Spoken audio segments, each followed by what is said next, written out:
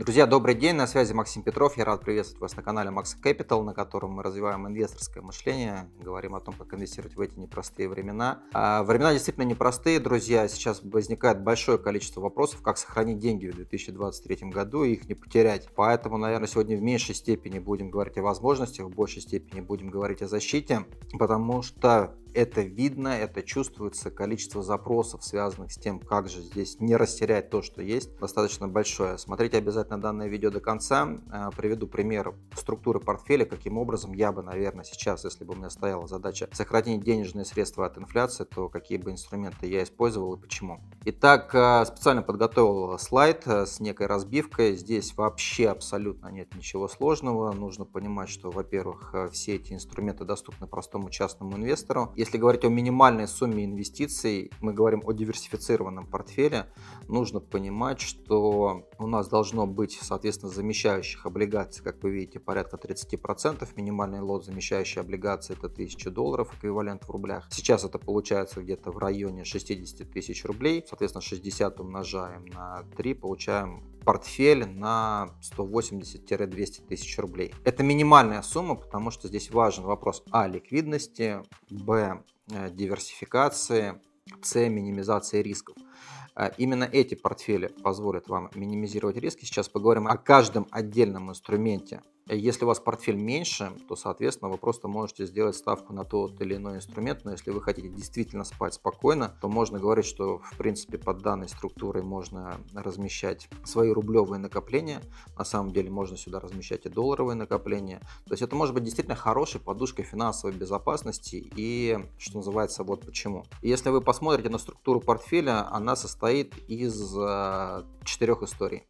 То есть первая история это облигации федерального займа, с фиксированным купоном. Этих облигаций меньше всего в портфеле. Их в портфеле должно быть порядка 15%. У них не очень высокая доходность к погашению, там на уровне 7%. И самое главное, доходность может вырасти. То есть в 2023 году доходность может вырасти. Сами облигации может снизить, могут снизиться в цене. Почему? Потому что риск высокой инфляции достаточно высок. Центральный банк может начать повышать процентную ставку. И, соответственно, эти облигации в цене могут снизиться. Но при этом можно зафиксировать зафиксировать для себя на горизонте там, в 15-17 лет доходность на уровне 7%. Хорошо это или плохо, кто-то скажет неинтересно, да, я эти инструменты не выбираю. Но я объясню почему. Во-первых, обратите внимание, их меньше всего в портфеле, всего лишь 15%.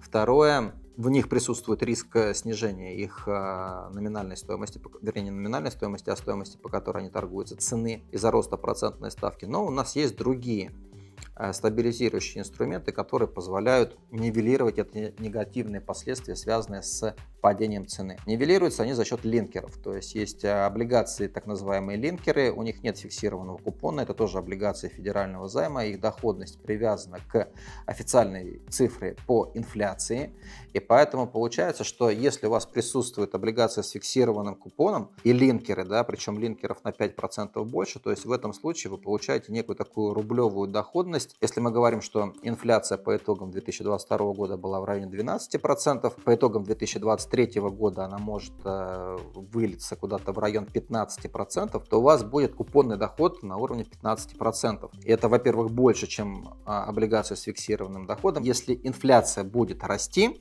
будет расти купонная выплата. Будет расти купонная выплата, инструменты, которые защищают от инфляции, тоже будут расти в цене. И поэтому получается облигации с фиксированным купоном, они будут нивелироваться линкерами, потому что вот все, что связано с доходностью, они друг друга будут компенсировать. И мы вот в этом видео, говоря про инфляцию, а, я объяснял свое видение, почему инфляция в России может вырасти. Поэтому получается этих бумаг чуть побольше. Второе, не иметь инструментов с фиксированным доходом тоже нельзя, да, потому что что точно будет, никто не знает. И здесь мы получаем некую такую равновешенную штангу с незначительным перевесом в а, область проинфляционных инструментов. И таким образом вот эти вот два инструмента в общей сложности у нас получается 40%. Это рублевые активы в рублевой зоне, которые нивелируют друг друга, которые имеют эффект штанги, компенсируют друг друга, имеют там общую доходность на уровне там, в районе 8-9% на уровне ставки рефинансирования. Вырастет процентная ставка, вырастут линкеры, вырастет доходность линкеров, да, то, соответственно, у вас это повысится. Хорошо, стабильно, комфортно. Мало того, минимальный лот для покупки данных облигации это 1000 рублей. То есть абсолютно любой человек, если у вас есть брокерский счет, вы можете открыть брокерский счет и купить эти инструменты. И в принципе, на самом деле, если вам важна там рублевая доходность, вы можете стабилизировать свой портфель за счет покупки таких инструментов. Да, ни о каких возможностях здесь речи не идет, звезд с неба хватать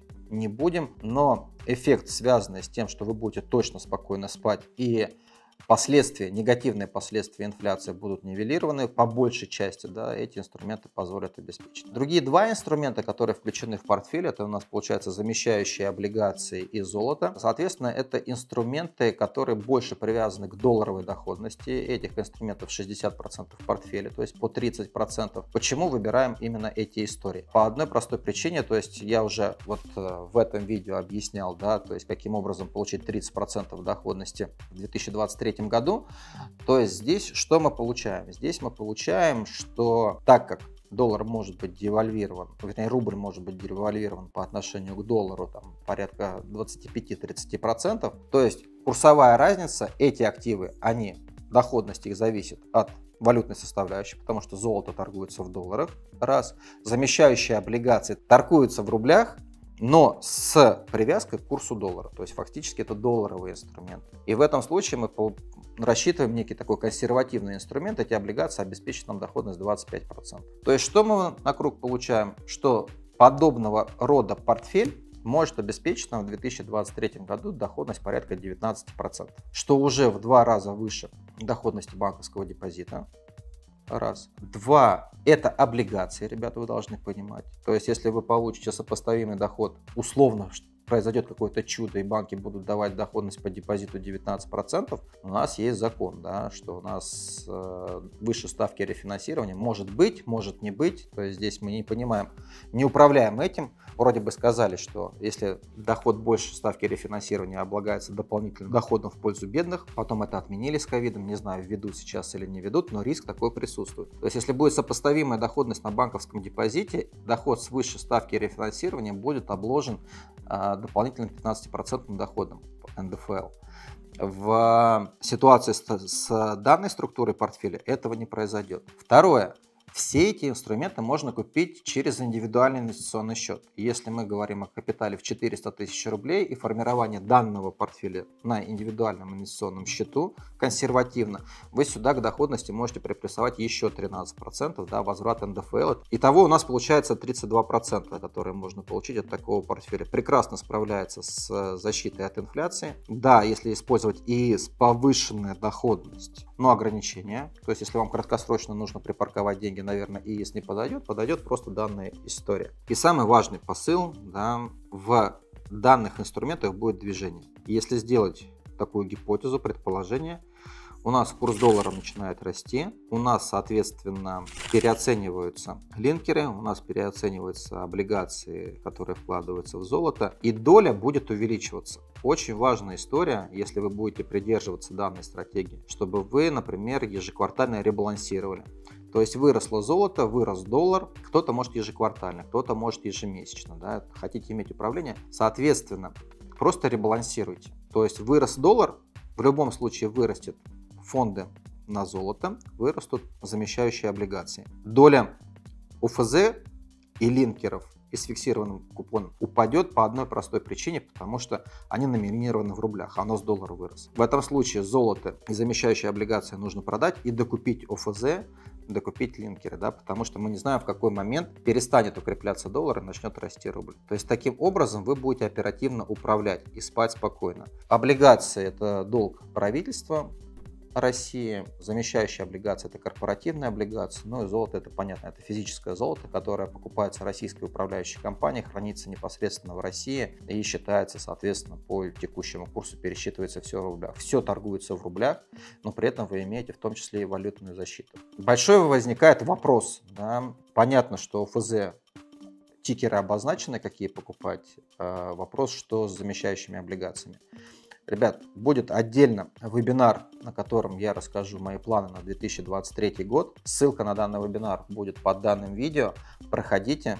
И там, я думаю, что как раз-таки мы назовем часть наших замещающих облигаций, которые мы сейчас выбираем в портфель инвесторов. Еще будет платная конференция на платной конференции вообще подробно разберем, как работают замещающие облигации. Потому что именно на них сейчас идет наибольшая ставка лично у меня на 2023 год в направлении консервативной части портфеля и защиты этой части портфеля. Сегодня же у меня на этом все. Если понравилось видео, обязательно комментарий, лайк, э, поделитесь если у вас есть родные, близкие люди, я не знаю, предпенсионного возраста, вы кому-то можете помочь.